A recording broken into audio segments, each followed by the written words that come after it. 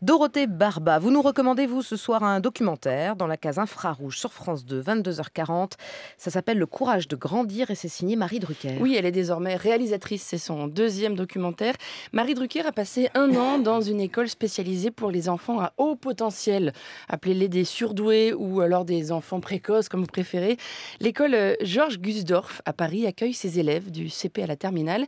Et tout le mérite de ce film, c'est de se placer à hauteur d'enfants. C'est pas une plongée hein, dans le monde exotique des surdoués, mais bien une rencontre avec ces gamins, avec leurs profs et avec leurs parents. Tous se confient de façon très émouvante. Il y a cette petite fille, par exemple, qui se pose des questions tout le temps à tel point que ça la paralyse. Elle explique que dans l'école où elle était avant, c'est très sérieux, on ne répondait qu'à 8% de ses questions. Voilà, c'est elle qui a fait le calcul. C'est assez troublant. Il y a aussi Joséphine, 15 ans.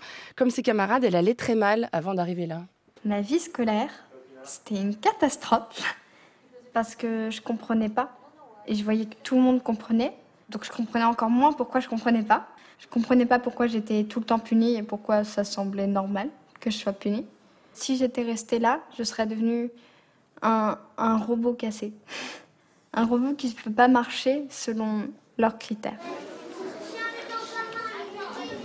Voilà, tous ces gamins sont des petits génies, mais on est très loin d'un film sensationnaliste qui en ferait des bêtes de foire, même si on les voit quand même débattre avec animation en classe de sixième sur la, plage du, la place du mensonge chez Kant, avec un prof de philo. Voilà. Un prof de philo en sixième. Tous, oui, on adapte, hein, c'est une, école spécialisée. Tous n'ont pas des résultats scolaires exceptionnels d'ailleurs, hein, loin de là.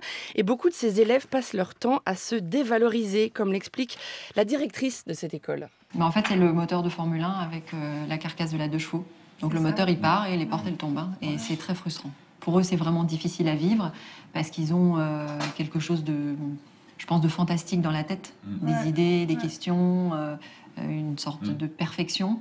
Et quand ils produisent, euh, pour eux, c'est lamentable. Donc effectivement, c'est la sensation d'être nul. Mm. Alors que non, ce qu'ils produisent, c'est plutôt même mieux que ce qu'on attend. Mais c'est certainement pas à la hauteur de leurs espérances et c'est certainement pas à la hauteur de ce qu'ils ont dans la tête. C'est bien là l'image de la Formule 1 et, de la, et de la deux chevaux. C'est un documentaire sans voix off, Dorothée, donc sans commentaire. Oui, et ça permet à Marie Drucker de brosser des portraits subtils et sensibles hein, de ces gamins qui sont bigrement attachants, il faut le dire. Mais ça peut aussi être un peu déroutant, cette absence de voix off, car on aimerait prendre un peu de recul.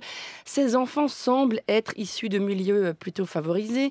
Et quand on se, renseigne sur cette école spécialisée, on découvre que les frais de scolarité sont de 8000 euros par an. Ah, ah. Voilà. Est-ce qu'il y aurait, comme on l'entend parfois, un phénomène de mode hein, dans certains milieux aisés où on a vite fait de dire d'un enfant qu'il est précoce. Je reste sur ma faim sur ces questions-là. Sans doute seront-elles abordées dans le débat qui suit le documentaire. En tout cas. Oui, sans doute. Merci Daniel. Marie Drucker a là une, une, réflexion passionnante hein, sur les rigidités du système scolaire traditionnel. Et puis c'est aussi un film plus largement sur l'enfance et sur ce que grandir veut dire. Oh, c'est beau. Merci.